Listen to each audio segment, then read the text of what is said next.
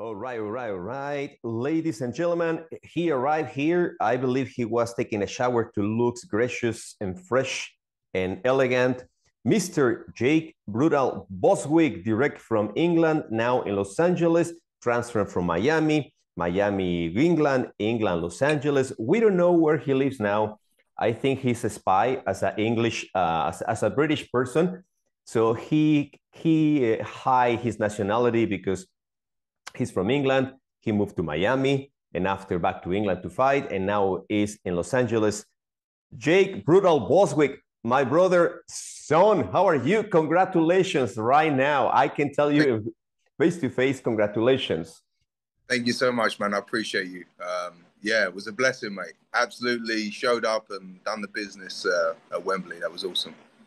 Yeah, no. Uh, what what amazing. So uh, so we we've been you've been here before in KAOS Boxing and Fitness. We we've been speaking about your experience uh, from MMA and your boxing career too, your fights on and your record you are building in BKFC, how you became a star. But um, after what happened in the past, I think the past is the past. This fight you performed in England, one, in your country, your family was there because I saw your mom I, I see your family there sitting, cheering for you. The environment from the British people and the stadium is just amazing. It's just energetic. Uh, I don't want to say it to Orlando or no, Florida or the in Tampa, the people know I believe it's, it's good, but it's a different vibe. And of course, your fight was amazing. You became with uh, explosive, and uh, during the interview, to I was speaking with you to one reporter tried to eat all the show what to be it's like you know what? I wait. I, I i like this guy. I know he liked me. And i want that we want to have a conversation more chill out here. But yes. But um your interview there the speech you give to these uh, reporters and i saw your partner also. She wasn't cry because your words was meaningful. Yep. It was very meaningful was very uh touchful because exactly it's that process from big trying and trying and trying and working hard and working hard and people sometimes make a rude comment sometimes uh etc and that built you. That built jake brutal bostwick. That is correct son. You know um everyone goes through their ups and their downs. Um my thing is never physical you know. My ability i know i can fight i know i'm tough and it's always it's always there, you know. And um, yeah, coming off of the losses that I came off, and then to be victorious in that fight and look very good doing so. Uh, yeah, it was a very emotional thing for me. You know, I feel like I just like unlocked something. You know, um, it was really it was super refreshing. It really, really was. Um, a beautiful evening, beautiful finish, beautiful fight by myself. I went in there with my head absolutely screwed on. Um, and yeah, like you said, the uh, the English crowd is no, so energetic. You know, it's super different, and it is different. You know, the uh, the English and the Irish, very loud, very vocal, very you know amongst their fans, and are very very loud. The mm. Americans, obviously, again, is awesome, but it is a different kind of vibe. You know, um, but yeah, what an absolute fun evening that was, mate. Yeah, and what um, I I have the opportunity to speak with David Feldman during the, the fight or during the event, and also with Nelson. And instead, and and this is what makes uh, uh, a stars of this BKFC 27 in London. Yeah, like uh, all the fighters, they are well known on the bare knuckle boxing sport because the same night was uh, the Coldplay concert that was packed on the Wembley Stadium. Yeah, and the OVO Arena was packed was full, was all the seats was covered because the people love the sport. Yep. Yeah, that's very true. I say there was yeah, Coldplay was on. I think there was like eighty or ninety thousand people there or something. Like, uh, like it's crazy. And to think everything that obviously Bare Knuckle had to deal with, obviously the train strike, there was a bus strike. You know, so for travel for people, it was a big issue. Um, but yeah, it was still busy as hell, still super loud. And yeah, what an absolute night that was, mate. Yeah, no, and, and and the production is spectacular. As I as I said, uh, I saw your partner, Dr. Stephanie Cohen, because she's a doctor. I want to give her her title. She's a yeah, doctor. No, she's a, she's a yeah, so, yeah, so during your interview, when you was speaking about the the good and the bad on their journey to your fight, she was crying. She was emotional too, and I believe you you transferred that to all of us because was very emotional uh, moment for you. So, what is the meaning for you to uh, became from these two fights to? I don't want to say it's a lost because you're so professional. It's just a different sport. It's not like boxing. It's not like MMA. You know, it's a sport to go fast. It's strong, and it's in, at the end of the day. I want to say thing is not a loss. It's just a learning what you need to change yeah. in your dynamics. Yeah. So tell me what are you what are your, okay. your thoughts? As much as I think Julian Lane is an absolute fucking prick. Can I swear on here, by the way? Of course, yeah. This is your space. That's yours. Julian Lane is an absolute fucking prick. At the same time, that fight taught me so much. You know, so weirdly, I thank him for that, for the fucking beating that he gave me you know, that night. You know, I tried to box him and he bare knuckle boxed me. You know, I was sitting on my front foot, sitting in the pocket, sitting right in the middle, and he was on the outside just jabbing my face away. He opened my eyes to the clinch game, how, how aggressive to be in the clinch. He hit me with some little shots that weren't nothing, but I had welts and stuff in my head, and I was like, damn, like super effective. Like I received all the damage because obviously you see me after that fight, obviously two fights ago, three fights ago, you know, my face took a bit of a pounding. But um, man, it really did open my eyes to how much more explosive it is. It's not a one punch wonder kind of fight. It's not like you're, I don't know, on the street and you're gonna bang someone one time and knock them out. No, like bare knuckle fighting, like there's a referee, you have to be stopped in that motion. Um, so yeah, you got to fight and fight your ass out, especially in bare knuckle. And the defense game in bare knuckles, the same thing. Like you can't just put your hands up. Like my last opponent, for example, um, he put his hands up here. As soon as you're gonna do that, like it's it's a wrap. Like you can get around the side, you can get up the middle. Um, your defense is your movement, footwork, and head movement. You see how elusive mm-hmm. I was on my feet, yep. side movement, constantly adjusting my feet, making him follow me. You know, um, yeah, with bare knuckle, man, you can't just sit in the pocket and bang. It's a very different sport. And I say, like, like you mentioned, I'm over here in LA right now, and I'm boxing and I'm sparring. I'm boxing sparring with really good professional boxers, and um, it's so different to bare knuckle, mate. I'm doing three minute rounds in the gym with 30 second breaks. So obviously the pressure, the the the output's different and the boxing style is different. You know, like to bare knuckle box, like you got to move so much. You really do. Like you can't just stay there in the middle and just eat shots because just the jab can be enough. Like when I fought Ricci after lane, yeah, I got with a jab. You know, like a jab. It's like right on my chin, just a jab. Bing. It's it really doesn't take a lot. You know, um, and again, yeah, I'm adjusting to the sport. I really am bare knuckle boxing is its own thing. It is not boxing. Boxing is boxing. Bare knuckle boxing is very different. You can hold the head, you can dirty box, and obviously you deliver way more damage, you know. And the rounds are so short, they're explosive. And yeah, it took me a few fights to adjust to that. Um, you know, when I fought Lane, that was my second bare knuckle mm-hmm. fight. That was his seventh or eighth. Now think of the knowledge that I've picked up in three, four fights it's like crazy to think where I'll be in seven, eight fights time. You know, so when I fought Lane, he had a decent amount of experience in the bare knuckle scene. You know, so we kind of understood it. Not saying I didn't, but I was still new to the sport, which I am. I'm still even that, but I really do understand it now. Like, I totally get it. I totally get it. And then my last fight, I proved that and got a second round TKO finish. So yeah. It's, yeah, exactly. You, you, you are new on the sport, but you are not new on the combat sports in general because you have a long career in MMA. You have boxing career too, and as you mentioned, yeah, the boxing and bare knuckle boxing is not the same. Uh, and UFC, they been having boxers uh, coming out from retirement and and jump inside to the the square circle and the, the story the history is different yeah the story is different so they they they've been tasting like okay this is not the same mm-hmm. because with the glove you can get punched with the jab maybe i don't know like a in one round like a set like a 15 20 25 times in one round and you still move forward to the next round and yep. in bare knuckle you have only one jab and and you get and caught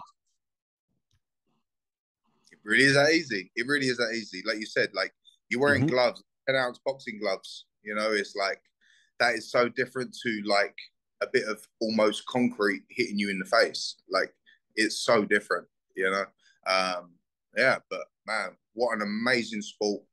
And um, bare knuckle for sure suits my style more than anything.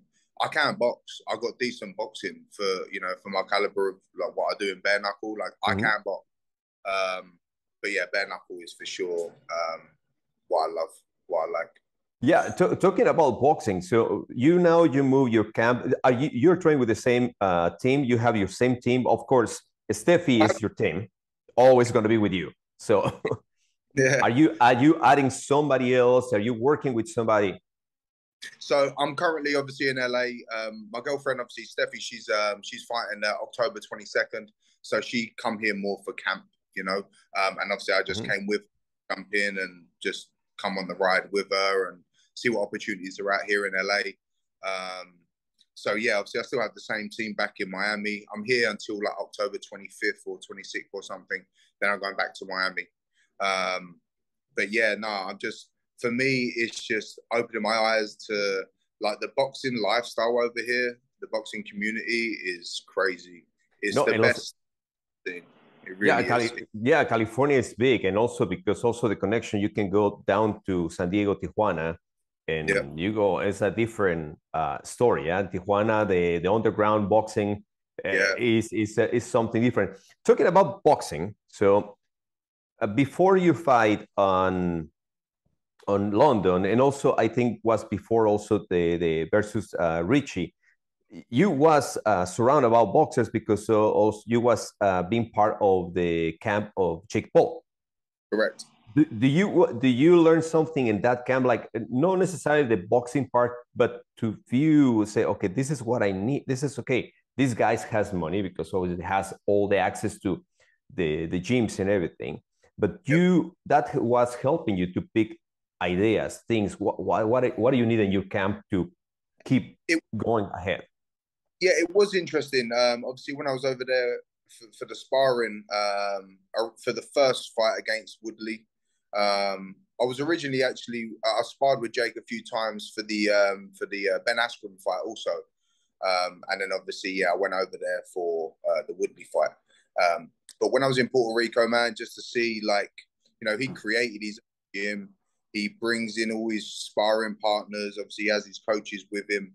But it was nice to see the lifestyle that he lives. Like he does, he lives like a professional athlete. You know, as much as people talk shit about him and whatever, like mm-hmm. he is the work. He is hustling. Like, man, he is boxing right now. At the end of the day, like if you yeah. think about boxing, what kind of names are really popping off? Like Jake Paul's name gets mentioned all the time, obviously because he's a showman. People want to see him fight. People want to see him lose. People want to see him win. It's just like he's just so he's just so in everyone, you know. Yeah, like, like I, I, totally respect it. I'm not one to talk shit about anybody. Really ain't other than obviously Julian Lane, which I said. But other than that, like, yeah, no, nah, they're good people, mate. And it's good to see, you know, what they're doing and how they're doing their things. And the same thing, but coming to LA, it's the same thing. It's like, it's nice to go around and see like the different styles that people have or they do or how they coach. You know, I've, you know, I've been in the fight game for 17 years. You know, I was doing MMA and whatever, but like I've traveled the world training with different places and picked up new things different ways how to wrap my hands, different ways how to throw certain shots, like so much stuff, you know. And uh, when I was over in Puerto Rico, yeah, with Jake Paul and that, I was living with uh, Jay Leon, obviously his other his mm-hmm. other coach.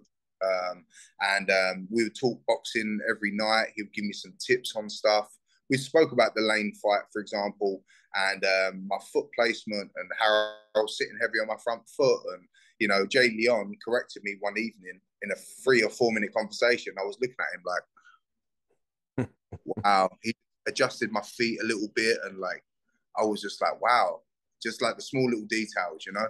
And I added that into my game, and I still have that in my game. And that was from Jay Leon from a three or four minute conversation one evening when we were just chilling eating dinner, you know. Um, but yeah, no, it was awesome training over there with with the team over there. That was super cool, and obviously, you know, it went really good. And obviously, then Jake flew me uh, flew me with them on you know on their private jet to to the fight and stuff. So it was awesome to really be a part of it all.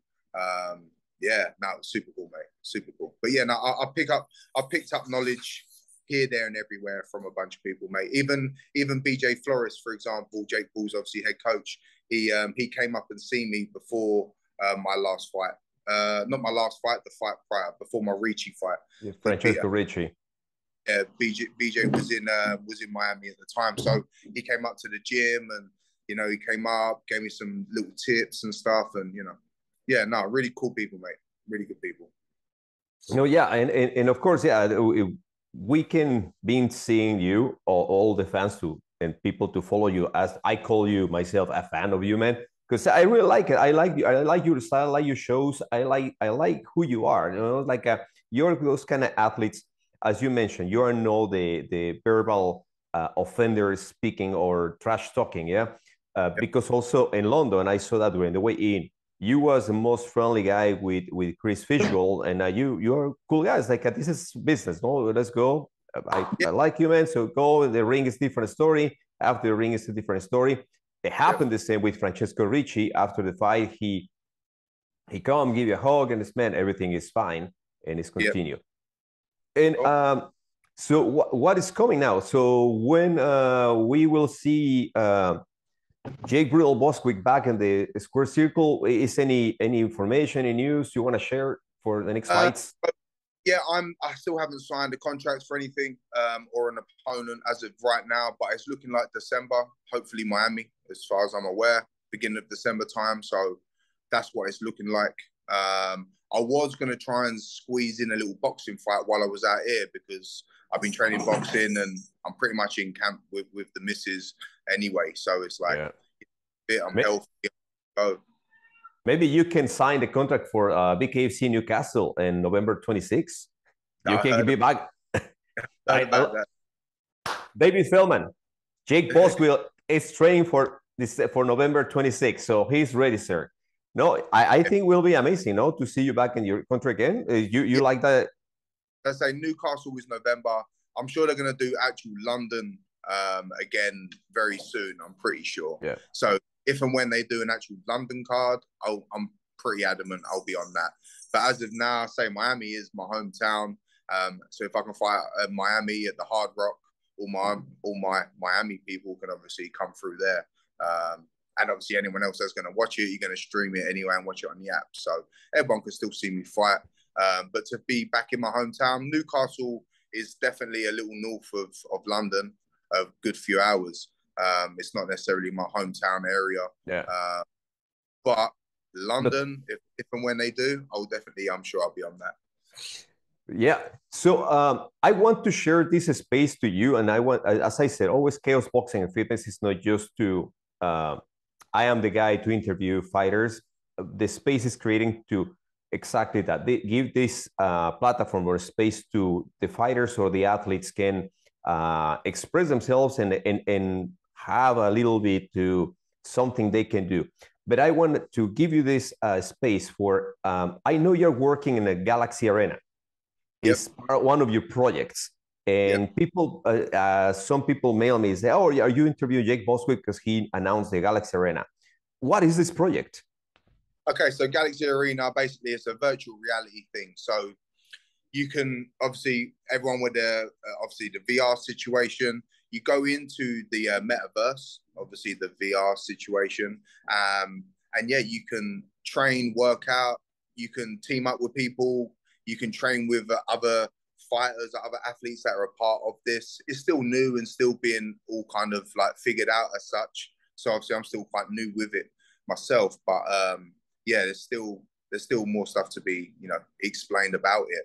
But the VR situation, yeah, everyone wants to sit, be at home and you know game or do whatever like that. But if you can go into the VR virtual reality situation in the metaverse and be able to like train alongside people like myself or other fighters that are involved, um, yeah, and I think there is a way that you can make money also working out at home. I can't remember the full ins and outs on how that exactly works. I'm still learning again about it, but um, it is a super fun project. And at the end of the day, let's be real, VR and stuff like that is for sure the future. You know, everyone's doing stuff from home. Mm-hmm. Everyone's working from home, doing stuff from home. So imagine being able to work out from home in a virtual reality world and be able to train alongside people like myself and other fighters. You know, is is super fun, mate. It's super cool. Um, but yeah, I'm still trying to learn a little bit more about it. But it's nice that they want to get me involved and uh, get me uh, part of the project.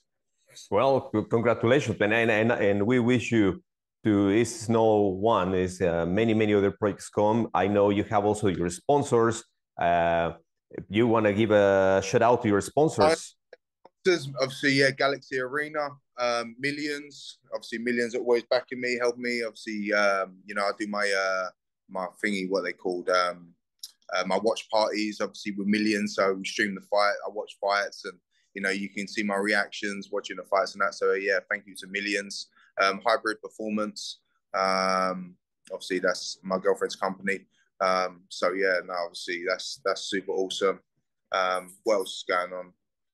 Other people that I've got in the works. Yeah, there's not really other people in the works right now, mate. Still work sponsors and stuff, but you know, um, yeah, just you know, my team, my people, anyone that's supporting me, you know, I'm still warming into the uh, bare knuckle scene, and yeah, you're gonna see still so much more from me yeah. so much more. So just, um, I want to ask you something for the last. I, I know you you need to go back to training, my friend. So I know I know I know you need to keep moving, but um, also something to take my uh, attention during the, that interview on after the post fight. Yep. You you was speaking about to all the haters, yeah, all the people hate. And um, I've been speaking also with uh, Joe Hitman, with uh, Tyler Goodjohn, with uh, uh, Taylor the Killer. At the end of the day, all of you, you are uh, an athlete, athletes, you are professionals, you are uh, bare knuckle boxers, and of course, other in other sports is other athletes. But this became a tendency to people to they don't know how much work and effort you put on in these uh, events. To also, it's not just a competition event for you, it's a show to you guys, provide to us as a fans and audience, uh, reporters, media, TV, etc., etc. And every day became more easy to people just sit behind the computer or the phone and can offend athletes. And it's, I think, something to I've been trying to talk with people and uh, and share this information because you are the ones to need to tell the people, hey, you know, stop to do this because you don't know what happens. Sometimes it's some athletes who have more bigger issues and people they don't understand how much affect that. Yeah. And and you was emotional because you said, fuck you, all these haters. And uh, the people is with me is with me. People hate me, hate me. But yeah, no. Um, so what do you think about this? Eh, but in, in your person as an athlete? Um, honestly, like at the end of the day, everyone has like for example, I train every day. Yes, I still have my outside of gym life. Obviously, you know, I'm in the gym. Let's say three, four hours of the day. Well, the other twenty hours, I'm just doing me. You know, whatever I'm doing, I'm doing. Same as anybody. Everyone's got their life. People have their problems. People have their issues, money issues. People are dying in their family or like anything. Everyone's got something going on. Um, so, for example, when you don't show up to a fight and your head's not in the game because of outside gym stuff going on, people don't necessarily respect that or they won't understand it because they're not doing what we're doing. Like the end of the day, for me to wake up, I was up at 5.30 this morning to go train, you know? How many other people waking up at 5.30 to go to the gym to work out? There's not many. Well, there is, but there isn't. You know what I'm saying? Um, and for mm-hmm. your average I don't know, civilian, however you want to say it, regular person to be sitting at home on a keyboard and be able to be an absolute keyboard warrior and be like, you're a fucking prick, you're a piece of shit, ah, you're rubbish, why'd you fight? Blah blah blah. It's like, like fuck you, get on with your life, let me get on with mine. If you haven't got anything like good to say, like why does anything have to be negative? Like, why do I need to read comments? And still to this day, I still read comments about previous fights, the Lane fight, for example. Man, I still see bullshit about that fight, and it it pisses me off because it's like, fuck you, man. You don't you don't understand what I've been going through, what I've had to weather to even be where I'm at. You don't know. Like, I'm from South London, bruv.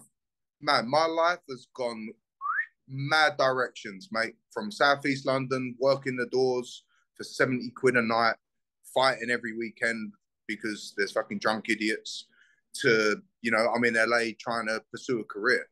You know, like that take it is it's a lot of headache, it is stress in its own manner. Um, but people don't appreciate the discomfort that we have to go through to be to where we're at. You know, like at the end of the day, you're all you're never gonna get away from people talking shit the end of the day, it's it's one of them things you, you're never going to get away from it. Everyone will always have something to say, even if I'm doing good. For example, even if Jake Jake is doing good and beat somebody, for example, he knocked out Tyron Woodley. Oh, that was fake. That was staged. Nah, you're talking shit. Ah, it's like, bro, Jake just knocked out an ex UFC champion, clean as day. Mm-hmm. How are you? Shut the fuck up. He just knocked out a legit name. Like, why? But yeah. you're gonna see, see it. Everyone, there's always haters. Always haters. Like, brother, anyone that's doing well, hats off to you. You know, like I'll pat you on the back. People go, oh, I just got a new sponsor, pay me this. I just got, I'm like, oh man, that's amazing. The sponsors that I would love, that I don't have, that I need, that I could be a prick about and be like, oh, fuck you. And like I could be tight about it. But no, I'll pat you on the back. Respect, mate. That's that's that's what I want. Like I, I need to go that direction. You know, like I'm all about supporting. I'm not one to talk shit, but you're all, you're never gonna get away from it. Everyone's always got something bad to say. Um, but it's one of them things you got to really like not pay attention to it as much as you can. You're gonna see the mm-hmm. comments. Mm-hmm. My, my following on Instagram isn't crazy. I got like sixty five thousand on there. So you will comments, see the comments. You will see the comments out the conversation here because it's going to be on YouTube. So it's going to you're going to see the yeah, they're going to speak. Yeah, there yeah. you go. You think about it like that. It's you know I, I, don't have that much crazy shit going on, but even someone like my girlfriend Steffi, she's got over a million on her Instagram. The comments, the hatred, what she looks like, bruv, like it is disgusting, and there's just like there's no need for it, you know. But it's just the world that we live in, and people are fucking haters at the end of the day. They're absolute haters. Just respect what we're doing. Appreciate that, you know, the journey isn't easy for everyone. People struggle. People struggle with money, whatever, you know. Yeah, everyone's exactly. Got, like, everyone's got their shit going on. I've got my issues going on. I don't share it on Instagram. I don't talk about it. I'll I'll share what I want to share, but I ain't gonna be on there giving my negative shit you never see anything very, very, very rarely you see anything negative from me. Very rarely. It, it, it's very true because uh, one of the things take my attention is like you are the most positive people. To lately, you don't say good morning to anyone. How many people on me about it? that was, that was that was for a long time too. I I, I really put me in a good mood, so like, like good morning. And it's like, and you you have you have personality, you have a good vibe. You you're always yeah. smiling. It looks like you are fine all the time. And, and I believe because that good vibe in London, plus the good vibe, plus a good partner in your life, plus your family, plus in your country, you step inside the square circle and you perform uh, one amazing spectacle because I saw the fight. I was three lines in in my pers- pers- very personal perception. You looks very different Jake Bostwick, in difference to the fight with Francesco Ricci. Yep. In this last fight, you was more, I don't know how to say, it, like you have a lot of more mobility. You was bouncing. You were more comfortable. You were standing, as you mentioned, was very a little more wider, more a long step, and um, and uh, you you was more mobile around the, the square circle. You was more uh, light with your hand. I saw your hands moving more uh, less muscular, more let go the fist. Yeah, I wasn't getting all tense. I wasn't like getting trying to throw my hands to try and knock him out. I was just actually throwing my hands. I was committing to my shit and not waiting. And that's my issue. It's always that pause and that wait that is it now the time? Like, no, just fucking bite down and throw your fucking hands, mate. You know? And and that, and that's all it is.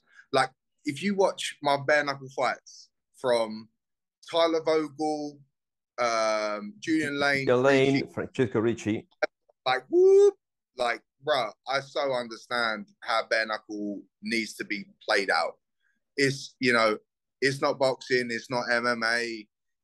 Bare knuckle boxing is its own thing. Like we went over this earlier, mm-hmm. it is thing. The two minute rounds, you hold the head, you can do so much damage with your knuckles, mate. But if you don't throw punches, you're not going to deliver any damage. When I fought Lane, I didn't really throw anything. People like, oh, that fight was, you know, whatever. Like, you still done good. I'm like, no, I didn't do nothing. Like, I was and, thinking and about, to, brother, I was sitting there thinking about feeding my cats.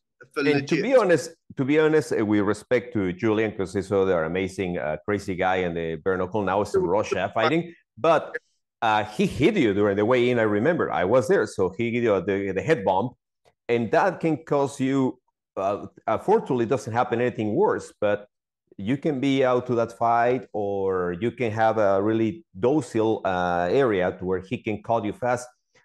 At the end of the day, you show you show in the next the, the fight, and yeah, it was by decision. Yep, hundred percent. And like I say, with that fight, I had to weather massive storm, brother, a big storm. Like I wasn't in the room. I could have easily just stayed down when he dropped me he dropped me twice, and obviously then he opened my face up. I had a bunch mm-hmm. of cuts, um, and I knew that I wasn't in the room, you know, but I wasn't going to quit, you know, like I wasn't. I was going to stand there and just weather the fucking storm, and I smiled through it, mate. He dropped me and I smiled. He dropped me again and I smiled. I had mm-hmm. blood out of my face. I was not in the room, brother, but I was fucking smiling, you know? Like that was the most uncomfortable time that I had put my head in and just been so uncomfortable and being like so overwhelmed with just everything and then getting dropped to my ass twice. Yeah, like I said, the multiple cuts. And like I knew I was was losing because I wasn't throwing my hands, I wasn't doing anything. I was so flat on my feet. Like I just was not there. Prior going into that fight, I had a changing coach. Uh, well, I didn't even have a coach. I, I, I uh, dropped mm-hmm. obviously my coach. I changed my management. I had a bunch of shit that was like going against me. Against me again, like no excuses for anything. I didn't show up. Period. I could have still showed up and had a fight, but I didn't. My preparation was okay. I had a big cut. I walked into that fight at like 204. I walked into my last fight at 190. Wow. And I thought weight class. You know? Yeah, no, no, you was ripped. So what what cap? So if you can share with us, because they we as an audience we watch the fight. But what we believe the fighter is there. What is in your mind? The last two minutes exchanging hits, but also you was the one hitting more because you was dropping combinations of three, four punches, five punches, six punches. But what was your last minutes before the knockout, when you see him knockout, Chris, what comes in your mind? Like I, when you see what you've been working, your performance give fruits. When well, in the I think it was in the was it in the first round? I yeah. I rocked, I rocked him. I threw a roll. I hit him with a hook, and I see him put his hands up. I went double jab down the center. I hit him with a big right hand, and I rocked him on the on the ropes, and he was calling me on, and I was like, no, no, no. I knew if I stuck with what I was doing, I was going to win. I didn't let anything phase me. Even if you watch that fight back after the first round, I was like just finding my. I felt so comfortable, mate. And you see me walk back to the corner smiling, and then if you hear, mm-hmm. if you mm-hmm. actually watch, I go warming up, warming up. Like I was having fun. I was. It was the first time in a long, long time I was actually having fun doing what I was doing. You know, and like I wanted to be there. Um, not that I never wanted to be there before with other fights, but my mental state going into this, I was like, fuck that. I was like, bro, I'm made for this, you know. And it was just like little things I was telling myself. I knew my preparation was good. I knew my game plan. This was the first time I actually went in there with a game plan and did not let anything break that. Like I didn't let anything break it. Stick to my lateral movement, in and out, lateral, hit him, move out, make him chase me, make him chase me, which I fucking did. And I stuck to it and it worked. It was like, ah, okay, that's what happens when you actually have a game plan and you capitalize on it and stick to it and, you know, really roll with it. Even with Ricci, I had a game plan, but at the same time, I had lacking sparring, especially against someone who's six foot four. I, I broke my ribs like a mm-hmm. month out so sparring. I don't know if you know. Wow. I had sparring for the Ricci fight, and I'm five eight, and he's six four. So that timing to get into someone that long, you know, it's a bit of a chore. He's fucking yeah. away from me. Um, so my footwork was very in and out with with Ricci because he's super tall, um, and the game plan worked. But I don't feel I had enough um, more lateral like, movement. Uh, I had no lateral movement really with yeah. that, uh, and in that in and out, which was fine, um, and it still could have worked. But again, with Ricci, in and out is okay, but still a little bit more lateral, a little bit more clinch. You know, I know exactly what I've got to do with the taller guys now, especially in bare knuckle. I'm gonna pull your head down to my fucking height, and I'm gonna I'm gonna rip you a new one. yeah. So, uh, where, where do you think now you're you're ranked now? So, where where do you see yourself coming to? Do you think one more fight and you can uh, achieve the the title championship, or uh, or or maybe there's the next one?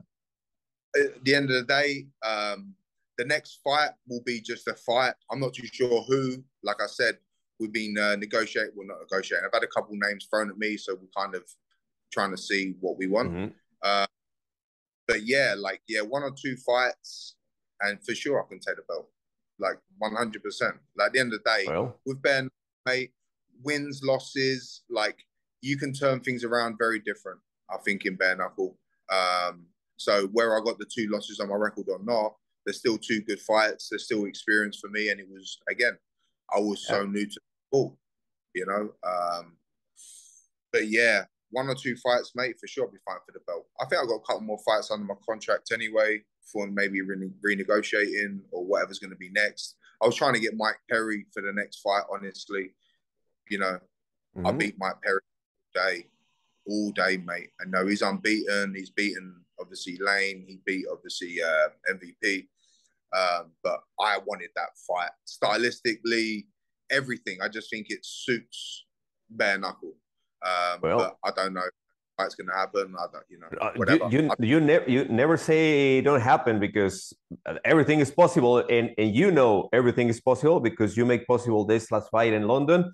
You was in from your hometown, so in life, nothing is possible, champ. So, Jake, brutal Bostwick here in KAOS Boxing and Fitness, and uh, we wish you the best, mate. And thank you. I appreciated your time. You are always very kind.